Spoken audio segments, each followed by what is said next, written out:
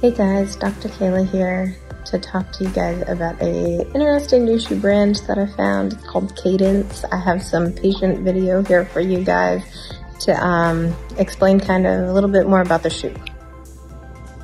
So here we have my patient. She had a stroke a few years back and she's wearing her normal New Balance shoes in this segment. And you can see her walking you can see that toe kind of catches. So her left side is involved and weaker. Doesn't that she kicks it out to the side a little bit. She doesn't bend at the hip and knee as much, and that toe can get a little stuck.